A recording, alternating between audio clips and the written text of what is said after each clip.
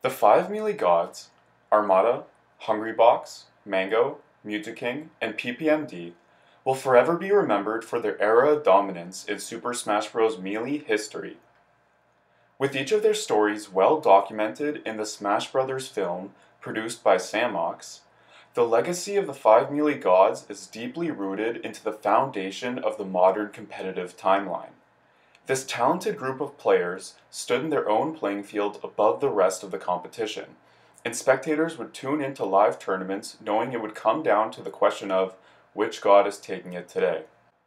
What was so great about these dominant players, from a spectator point of view, is that they all had fascinating and unique play. For a sample of five competitive players, their characters were extraordinarily diverse. They were also each masters at their own craft. There was Mew2King, with his robotic precision and unmatched ledge play. Armada, with his revolutionized technical peach and impenetrable edge guards. PPMD, with his brilliant neutral game and masterful fundamentals. Hungrybox's destructive and consistent capitalizations on any mistake his opponent can make. And Mango's world-class ability to style. Oh.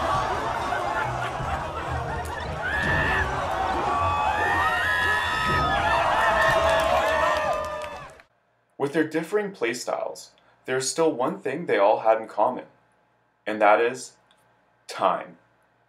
Yes, they did all possess exceptional skill at playing the game, but even with the acclaimed title of God, there was no god who got there without battling their human constraints first. They say that to become an expert in any skill, you need to put in at least 10,000 hours. Most of the five gods of Melee have been playing since they were kids, and now one even has a kid. But by no means am I saying that the five gods achieved their prominence through time alone.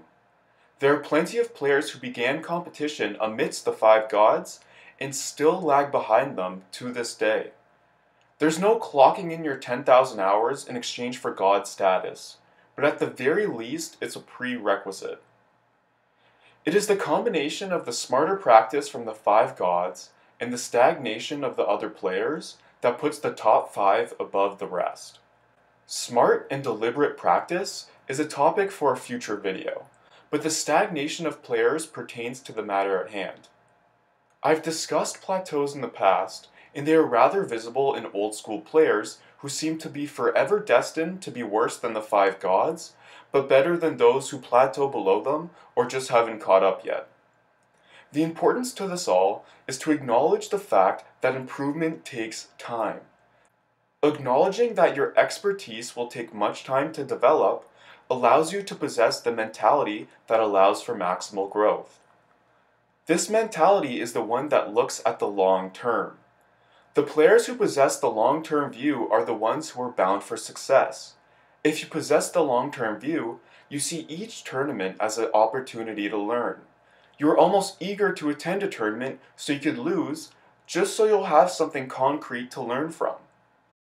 The long-term view sees tournaments as an opportunity to learn now, so you could be an expert in the far future. Those with a short-term view see each tournament more so as an opportunity to win and get noticed. This is a very quick way to hinder growth. The short-term view is easily inherited once a player gets one notable win or placing and falls under the false belief that they're good enough now and don't need to focus so much on the future. It's when your mindset shifts from long-term to short-term where you begin to learn much more slowly from your experience and stagnate. Years, years, and disc tracks later, old school players have still found success but their skill has not grown at an unusual rate, and their gap from the gods still seems unfazed. They say you can't teach an old dog new tricks, but it's just the longer you're into the game, the harder it is to keep a long-term view. Let's take a look at this chart. From this, we could determine the time it took each player to achieve the status of God. The first tournament was taken as the first tournament recorded on SSB Wiki and the tournament after God status was achieved was taken from a Reddit thread by user Drake234. We see that it took Armada 2 years and 6 months, Hungrybox 2 years and 3 months, Mango 11 months, Mew2King 1 year and 9 months, and PPMD 1 year and 10 months. Note, it is likely these players took the game seriously sometime before SSB Wiki's records. For example, PPMD was a Mario main since 2007, but his first recorded tournament is in 2009, where he was notable with his Falco. Examining the time to achieve God status, we see on average it took almost two years. Mango is clearly an anomaly, achieving God status in under a year, but that's the Mango. In current times, we know the four active gods as four of the best Melee competitors, but a few younger players have shaken up the top competition and sparked a new era in competitive Melee. Other old school players, with their years of experience ahead, still remain in our worldwide top 100. If you enjoy the content I'm creating, give me a DK thumbs up and spank that subscribe button. New uploads every Monday and Thursday, so don't miss out. Thanks, guys.